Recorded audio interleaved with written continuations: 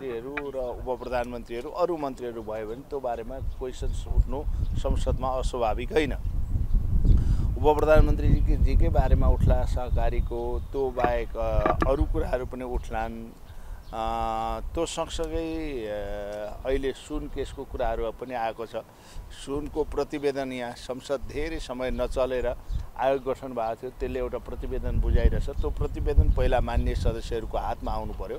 सबै मान्य सदस्यको हातमा आएपछि हामी त्यसलाई छलफल गर्छौँ। के रिपोर्ट रहेछ पुग अपुग के रहेछ त्यो सिआइबीले त्यतिखेर छानबिन गर्दाखेरि केही उम्कनु पर्ने मान्छेहरू उम्किए नउम्कनु पर्ने मान्छेहरू पनि उम्किए भन्ने कुराहरू आएको छ।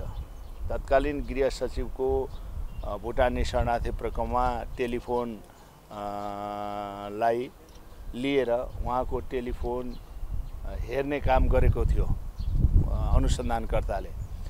तत्कालीन आइजी एआइजीहरू पनि छन् सुनकाण्डमा भन्ने आएको छ। को को छन् त्यो पूर्ण रिपोर्ट आयो आएन त्यो हामी हेर्छौँ। फेरि गृहमन्त्री क्रान्तिकारी नै हुन्छ। पहिलेदेखि यो गर्ने त्यो गर्ने भनेर हामीले राज्य व्यवस्था समितिसँगै छलफल पनि गरिरहेको थियौँ। उहाँ प्र प्रतिपक्ष हुँदा अहिलेको परराष्ट्र मन्त्री गृहमन्त्री हुँदा मसँग प्रमाण अरू पनि छन्। कारवाही गर्नुपर्छ भनेर उहाँले भन्नुभएको थियो। अब कारवाही गर्ने ठाउँमा उहाँ पुग्नु भएको छ।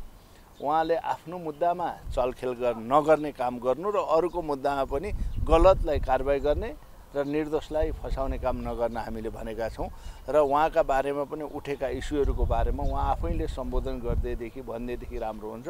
हामीले प्रधानमन्त्रीसँगै जवाफमा आएका छौँ। यस्तो मान्छेहरूलाई किन नियुक्ति गर्नुभयो? सुशासनका कुरा गर्नुहुन्छ। कोही सुन केसमा भएका अहिले पुन र सुन चाहिँ तपाईँको अलिकता चर्चामै आएका विषयहरू छन्।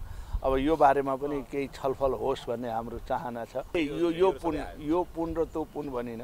दिपेश पनि दि- दिपेशका बाबा पनि सचिवालय भएका पनि को नाउँहरू आएको छ नि को को छन्?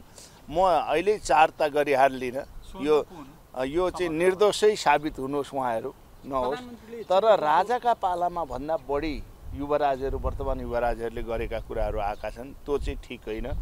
मैले अहिले जसले प्रतिवेदन पठाए सुन आयोगमा ल्याकत लाग्नु राख्नु होला त अनुसन्धान गर्ने यो विषय। अब म त्यतातिर प्रवेश गरिनँ ल्यागत त उहाँले सबैलाई गर्नुपर्छ। कता कता अब नाउँ क- कसको जोडिन्छ उहाँहरूको पनि कुनै संस्थामा सँगै भएको संस्थाबाट गृहमन्त्री र दिपेश पुन जिबिजीहरू पनि सँगै भएका कुराहरू पनि आएका छन्। म त्यतातिर गइनँ। र कन्फ्लिक्ट अफ इन्ट्रेस्ट भन्छ त्यतैतिर अलि म बढी तपाईँलाई गइरहनु एउटा भएको छ। कुरा खासमा- भनेको खासमा एउटा कुरा एउटा कुरा भनिरहेको छु। संसदमा हामीले त्यो जवाफ हामीले खोजेका छौँ। त्यति सजिलो छैन। जवाफ दिएर मात्र प्रधानमन्त्रीले जवाफ दिनुपर्छ भनेका छौँ। आज सभामुखले अलिकता रुलिङ पनि गर्नुभएको छ। अब भोलिको संसद पनि हेरौँ। हामी संसदलाई डिस्टर्ब गरेर संसदीय प्रजातन्त्रमाथि संसदै बेफल हुन लाग्यो भन्ने अवस्था सिर्जना हुनु पनि दिँदैन। त्यो संसदै संसदीय पद्धति अनुसार गर्ने काम कारवाही सरकारले गरेन भने काङ्ग्रेस कठोर रूपमा प्रश्न